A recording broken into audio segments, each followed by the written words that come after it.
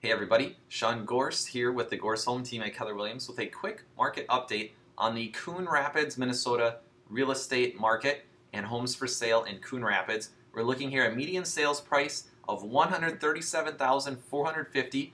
This is for May 2012, the latest data we have. Um, so we'd like to see that number definitely increase. You know, it's definitely way off of its high in 2005, 2006.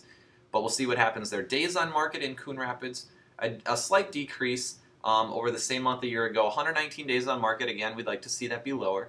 Pending sales, these are properties that got an accepted purchase agreement in the month of May. A definite increase here of 55% from the same month a year ago. And we're looking at year over year increases here. 107 properties got an accepted purchase agreement. So there's definitely houses selling in Coon Rapids um, despite all of the inventory.